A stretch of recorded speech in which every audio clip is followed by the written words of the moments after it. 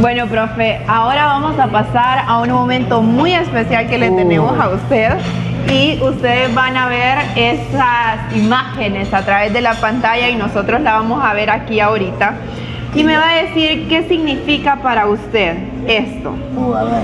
¿Qué significa para usted esta Uy, imagen? mira qué belleza. Ese partido es la final del 90.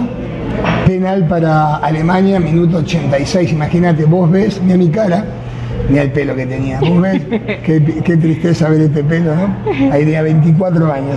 Eh, ves, ves que se va la, la final del mundo. Al minuto 86 del segundo tiempo estábamos con 10 hombres, estábamos aguantando, teníamos un gran atajador de penales como Boicochea, entonces llegar a los penales era una garantía. Y lamentablemente te pasa esto, te quedás con un nombre menos, con el gol y bueno, lamentablemente no fue la final. Ahora hablemos de esta. Bueno, ese, ese fue mis inicios en River Plate. Ya acá ya tenía dos años de jugar en la primera división, ahí tenía 19 años. Yo había debutado a los 17 y este fue, bueno, ya, este equipo fue magnífico. Me acuerdo, esa camiseta era hermosa. ¿La Eh, tiene todavía? Sí, la tengo. Esa, esa, la que tiene, me justo tiene un león, no se nota, pero el escudo es un leoncito.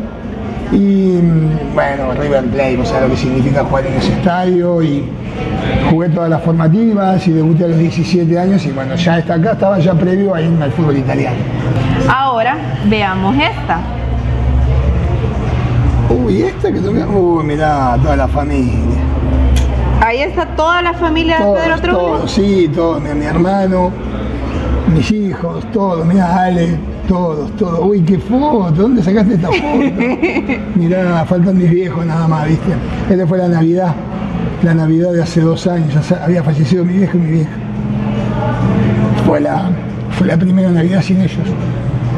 Pero bueno, nos habíamos juntado y, y seguramente mm, hermoso, sí, todos. Mis hijos, mi- los hijos de mi hermano, mis sobrinos, claro. Los hijastros de mi hermano, que también son sobrinos. Ale, mi esposa, que se tapa siempre para no salir.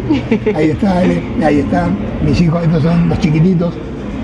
Y después lo más grande, ¿no? Terrible. Vamos con esta.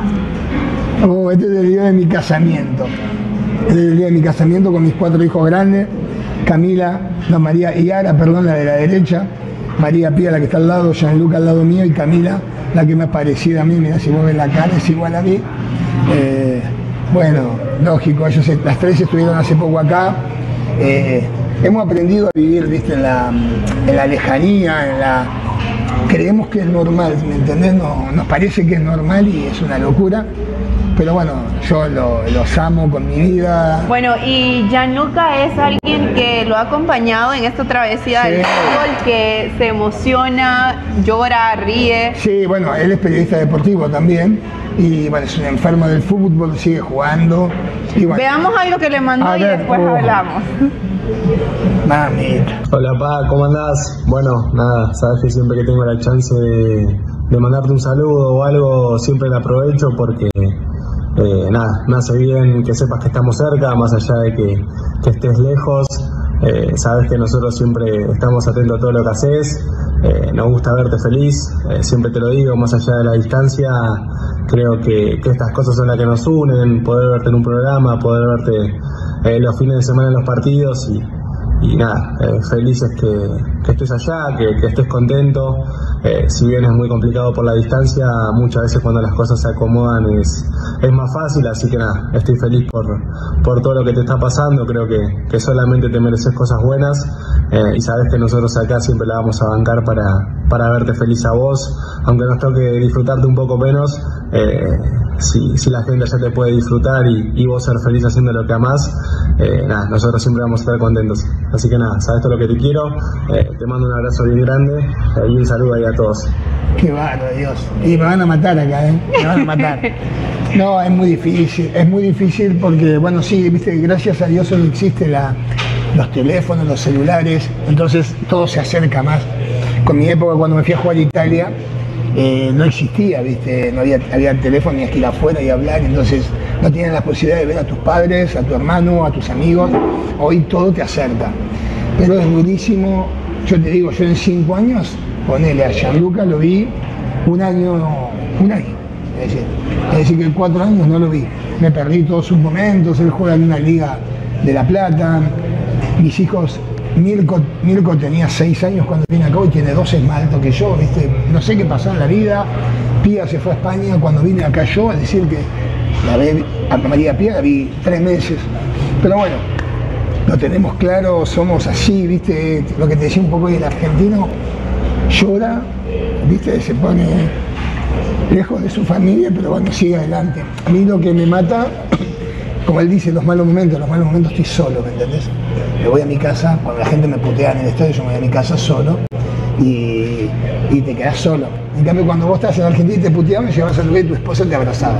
Y ahora se vuelve difícil. Pero bueno, ya estamos, ya lo tengo más, bastante asimilado y voy para adelante. Pedro Troglio no se va de Honduras, sigue en Luján. Podríamos ver en unos años más adelante con su familia completa aquí viviendo en Honduras. ¿Es una posibilidad? Es difícil. primero, mis hijos grandes, cada uno tiene su novia y su novio. Vos sabés que los chicos ya están haciendo su vida. Y Mirko y, Pedro juegan al fútbol allá. Eh, yo tengo otra empresa. Ojo, nunca se sabe, capaz que mañana mi esposa me dice, mira, no aguanto más, que, eh, y a mi esposa le encanta venir acá, ¿viste? Ella le encanta porque si no, no estaría acá, si no le gustara. Pero bueno, veremos, ¿viste? Hoy arranqué con esto, veremos qué me depara la vida, seguiré acá, me volveré a Argentina, iré y vendré, voy y vengo. Pero la verdad que lo que sí sé que estoy agradecido estoy feliz de haber estado tanto tiempo acá. Profe, ¿cuál es el mensaje que le envía usted al olimpismo y que confíen que ese Penta va a estar en esa vitrina? bueno, a ver, por confiar es por lo que hemos hecho a lo largo del tiempo. Es decir, sí, es verdad que hemos perdido situaciones como alguna CONCACAF, alguna Champions, algún partido, algún clásico, pero tenemos todo y, vamos a hacer todo el esfuerzo para poder conseguirlo. Y después agradecerles, viste, todo el tiempo vivido, el cariño, sobre todo el momento de pandemia, que yo quedé solo, mi esposa se fue en febrero y la pandemia arrancó ahí, viste. Así que después lo volví a ver en, noviembre. Así que agradecerles el trato, el acompañamiento, el amor y bueno, se los retribuyo y gracias por todo. Gracias, profe. Gracias a ustedes.